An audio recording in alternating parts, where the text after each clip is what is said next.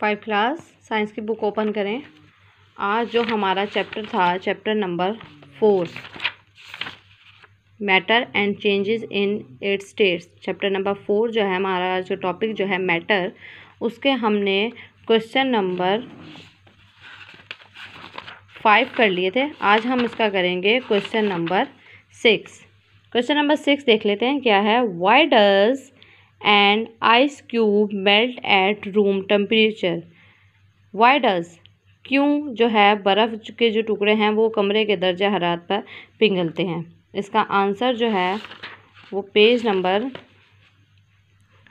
forty eight page number forty eight पे यहाँ से इसका आंसर है when the ice cubes melt जब बर्फ़ के जो क्यूब्स होते हैं, यानी कि चोरों शक्ल में जो क्यूब्स बर्फ़ के जो क्यूब्स होते हैं, वो मेल्ट होते हैं दे चेंज देयर स्टेट्स तो वो अपनी हालत को बदल लेते हैं।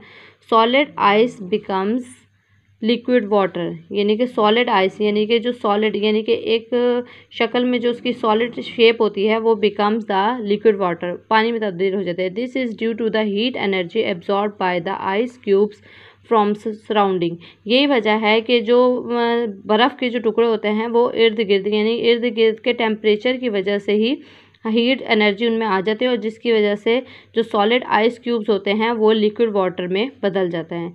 इसका आंसर क्वेश्चन नंबर सिक्स का यहाँ से लेके यहाँ तक आपने क्वेश्चन नंबर सिक्स का आंसर करना है।